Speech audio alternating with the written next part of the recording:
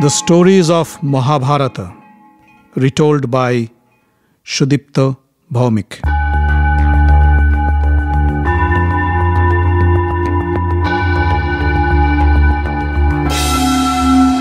Welcome, dear friends, to another episode of The Stories of Mahabharata. During the last episode, we heard the story of the birth of Devabrata. We also heard of Devabrata's terrible vow that gave him the name of Bhishma.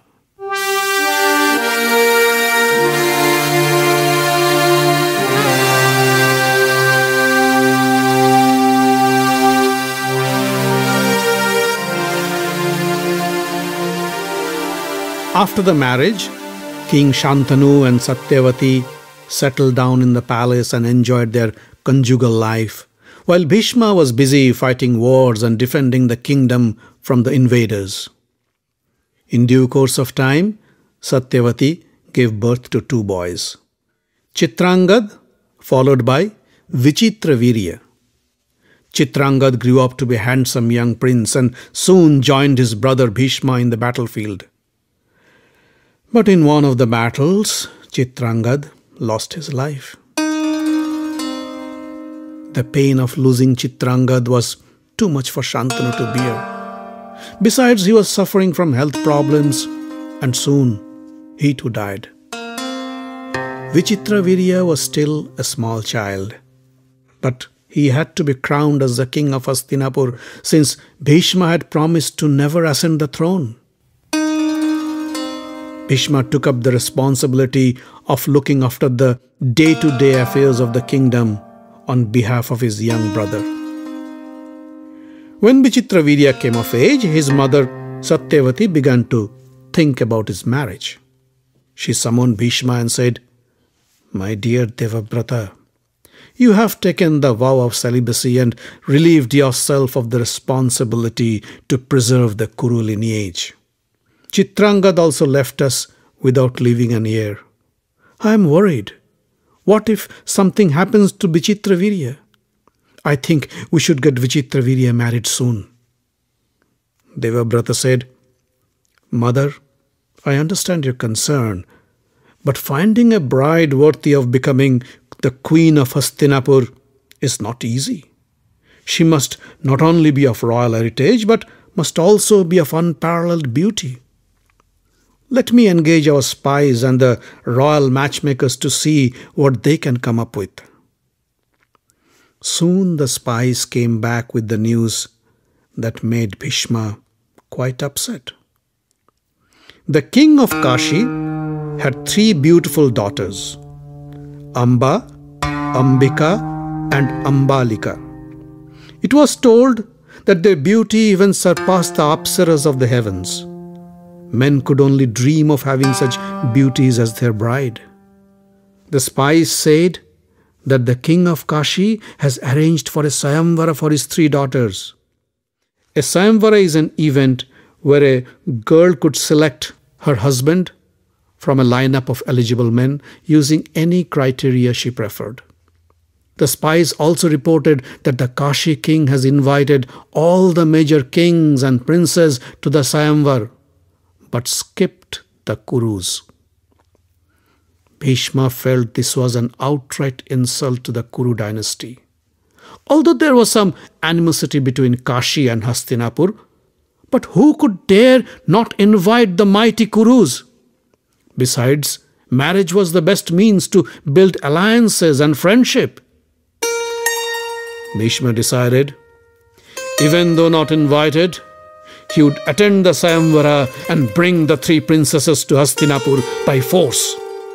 This was an accepted Kshatriya tradition, and he would exercise his rights as a Kshatriya and teach the king of Kashi a good lesson. On the day of the Swayamvara, Bhishma arrived in Kashi on his golden chariot. As he stepped into the Swayamvar hall, the invited kings were surprised to see him.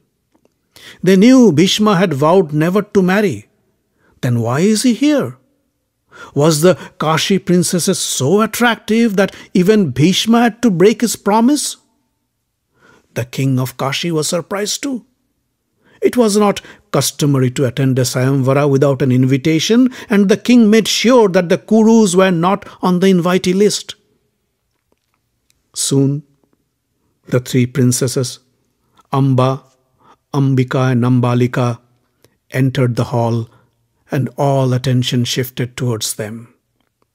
The invited kings and princes were awestruck by their beauty.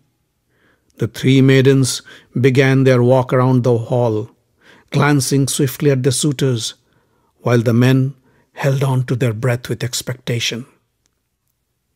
Suddenly, Bhishma stepped in front of Amba, Ambika, and Ambalika. He looked at the girls and said, I am Bhishma of the Kuru dynasty. I am here on behalf of my brother Vichitravirya. I want to take you to Hastinapur.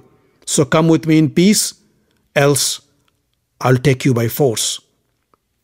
Then he looked at the king of Kashi and said, O king, you have insulted the Kuru dynasty by not inviting my brother Vichitravirya to your Swayamvara. As per the Kshatriya traditions, I am taking them with me by force. Stop me if you can. The kings and princes in the hall shouted out in protest, You cannot do this, Bhishma. We will not let you get away with the princesses. Bhishma didn't pay any attention to the shouts. He held the hands of the three princesses in a firm grip and took them to his chariot. The king of Kashi was startled at first. When he saw Bhishma leaving the hall with his daughters, he came back to his senses.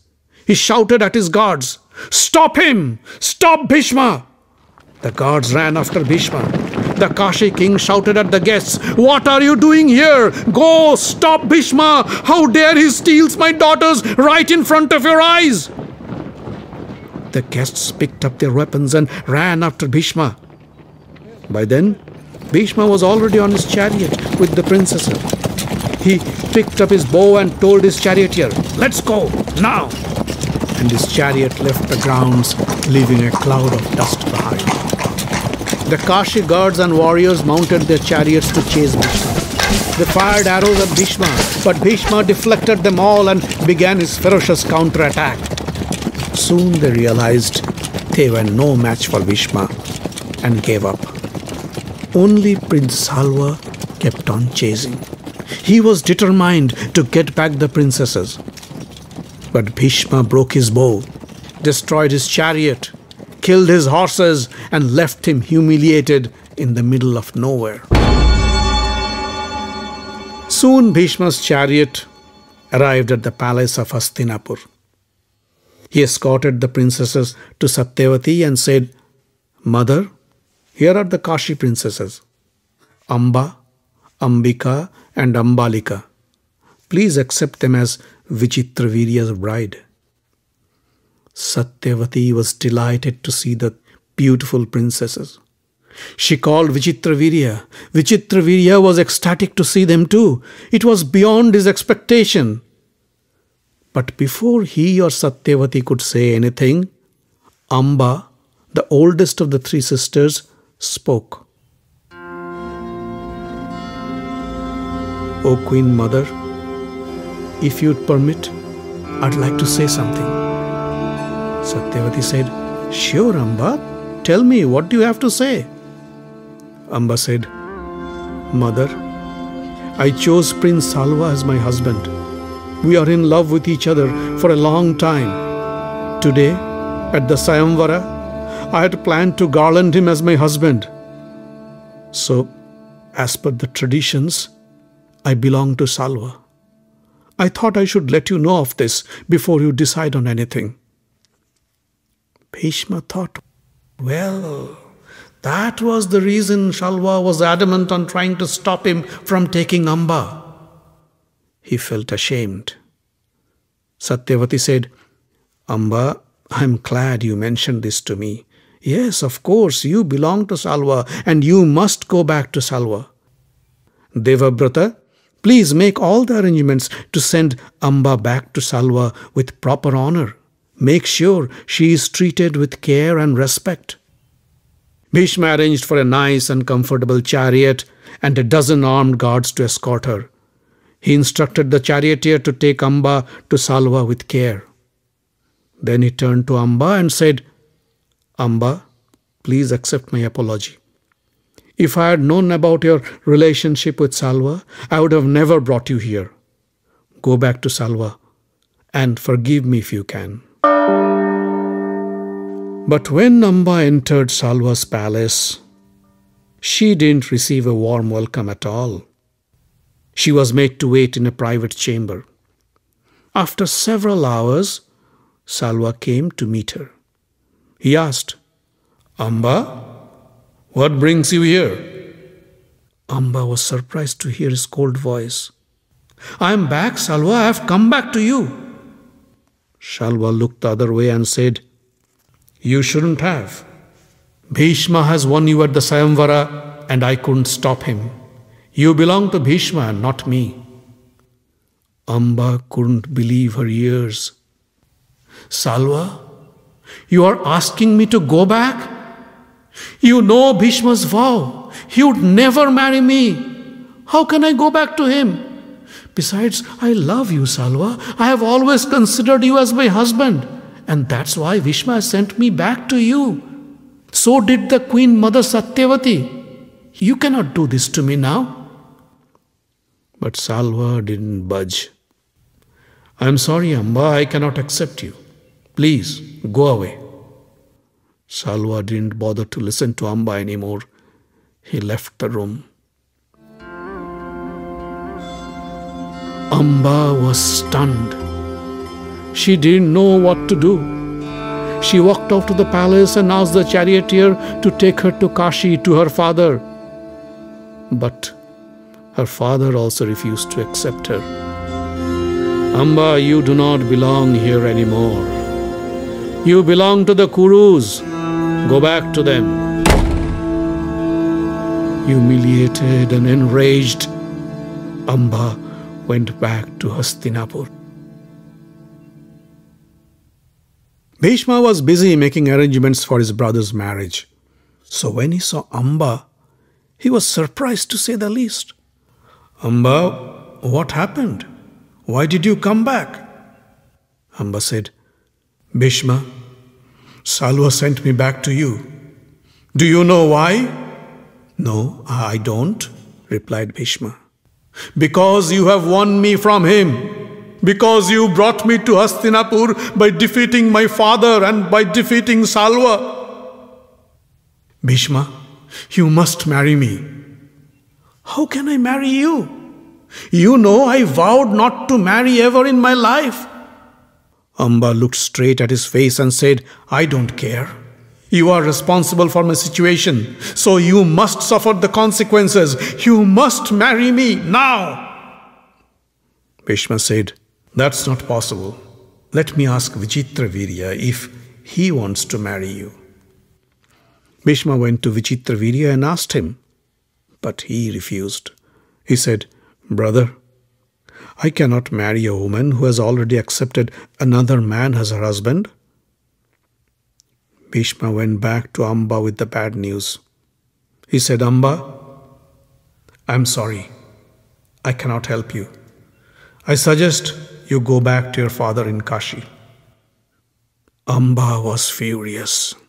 Don't you think I tried it already? My father refused to take me. My lover rejected me all because of you. I won't leave you. You must accept me as your wife. But Bhishma was firm in his resolve. He said, Amba, I sympathize with you, but please don't ask me to do the impossible. I cannot break my vow. Please, forgive me. Amba said, Then what am I supposed to do now? Tell me, what should I do? Bhishma was at a loss for words. He could only say, I don't know. Amba was seething in anger. With bloodshot eyes, she said, People say you are the bravest and the most gallant warrior of all. I say you are a coward.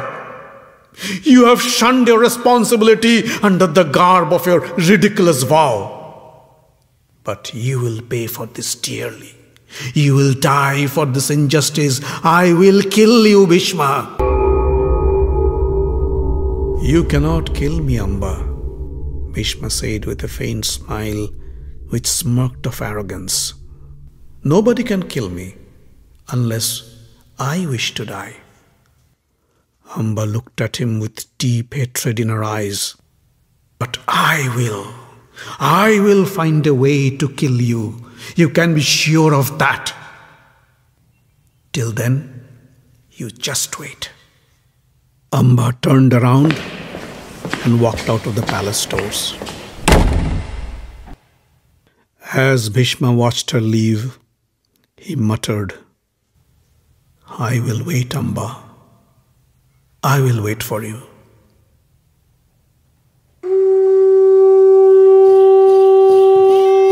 With great pomp and grandeur, Vichitravirya got married to Ambika and Ambalika. But their married life was cut short by the sudden death of Vichitravirya. Satyavati was grief stricken. Not only she was saddened by her son's death, but she was also worried about the future of the Kuru dynasty. Vichitravirya did not leave a son who could bear the torch of the Kuru legacy. Is this the end of the Kuru lineage? In those days, if a husband didn't have the ability to produce a child, it was acceptable to use the services of a virile man to impregnate the wife. The man could be from the family or of a noble origin like a Brahmin. This practice was known as Niyoga. Satyavati thought if the Kuru dynasty had to be preserved, she had no other option than to invoke the practice of Niyoga. She called Bhishma and said, My son, the fate of the Kuru dynasty now lies in your hand. I would like you to use the practice of Niyoga and father a son of Amba and Ambalika. Bhishma was shocked. Mother, how could you say such a thing? You know of my vow. Satyavati said, I know, my son. But difficult times call for difficult measures. The fate of our Kuru dynasty is in jeopardy. We cannot let the lineage die with us. You must break your promise for the sake of your race, of your ancestors' legacy. But Bhishma was adamant. Forgive me, mother, he said. I can never break my promise. You will have to find some other option. Satyavati was desperate. What other option? Tell me, tell me if you have any better idea. Bhishma thought for a while and then said, Why don't you ask brother Vyasa to do the job? He is your son, hence belongs to the family. Besides, he is the most learned and the wisest person we know of. I can think of no better person to help us in this crisis. Satyavati liked the proposal. She summoned Vyasa. Vyasa appeared before her and said, Mother, I am glad to see you after so long. Please tell me, what can I do for you? Satyavati explained her predicament and asked Vyasa to father a child of Ambika.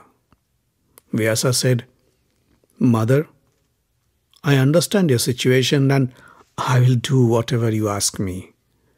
But do you think your daughter in law Ambika would agree to this proposal? Vyasa had a reason to ask this question. Although he was respected by everybody, even the gods, but he was an ugly and grotesque looking man. He never cared for his looks and was always covered in dirt and filth and smelled awful. No woman would dare to come close to him. But Satyavati comforted him. Don't worry about that. She is aware of the crisis and would do her best to keep the Kuru lineage alive. You just go and wait in your bedroom. I'll send Ambika to you. Vyasa said, So be it. Satyavati went to Ambika and told her about the plan. Ambika didn't object to the idea of having a child of a rishi but when she heard of Vyasa, she was scared. She had heard of Vyasa's grotesque, ugly looks and shuddered at the thought of sleeping with him. Besides, she was aware that the rishi had a very short temper, and if he was not satisfied, he could punish her with a horrible curse. But Satyavati was insistent, and she had to agree.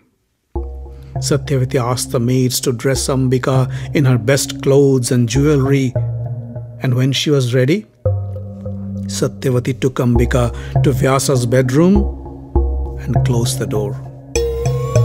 Ambika was so scared that she kept her eyes closed. Vyasa got up from his bed and pulled Ambika close to him. But Ambika didn't open her eyes for a single moment the whole night.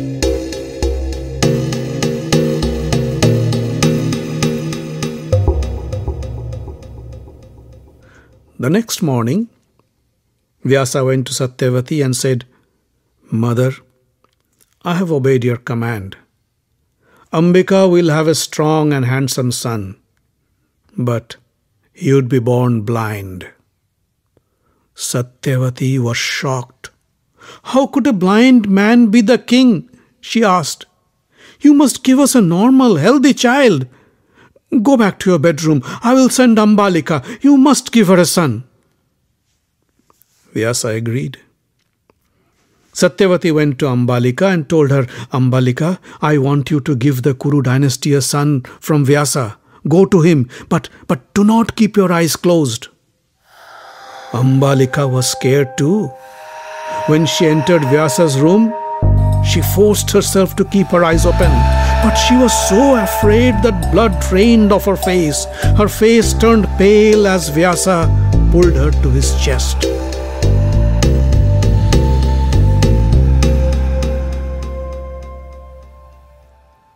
The next morning, Vyasa met Satyavati and said, Mother, Ambalika's son won't be blind, but he would be pale and frail looking. But don't worry, he will be strong and powerful. Saying so, Vyasa left Hastinapur. In due course of time, Ambika gave birth to a blind boy. He was named Dhritarashtra. Few days later, Ambalika gave birth to a pale looking boy, just as Vyasa had predicted. He was named Pandu. But Satyavati was not happy. She wanted a handsome grandson without any physical blemish. So she called Vyasa again and asked Ambalika to go to his bedroom and have another son of him. But Ambalika didn't want to face Vyasa again. So she dressed up her pretty maid in nice clothes and jewelry, put lot of makeup on her, and then sent her to Vyasa's chamber.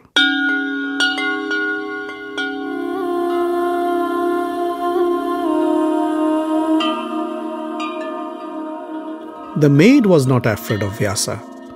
She greeted him with due respect and accepted him with love and dignity. Vyasa was very pleased. He told the maid, You will have a great son, a son who would be the wisest and the most learned of the princes.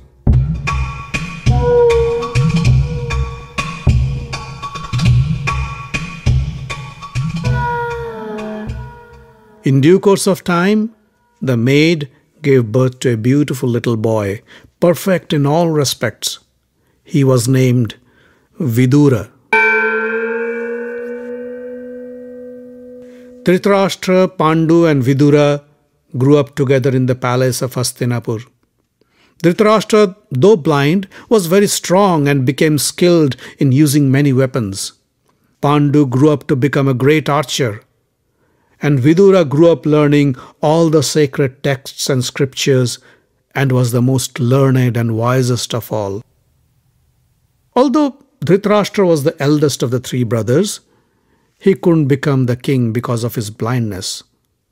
So Pandu was installed as the king of Hastinapur. Vidura, the son of the maid, was appointed as the prime minister. Pandu proved to be a great ruler. He conquered many kingdoms and expanded the Kuru rule far and wide. He amassed huge amounts of wealth from the vanquished kings and became the richest ruler of the land. The people of Hastinapur were pleased to have a ruler like Pandu who took good care of them.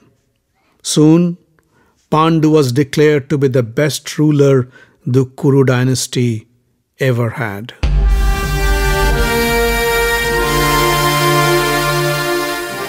The Stories of Mahabharata is written, directed, and told by Sudipta Bhawmik.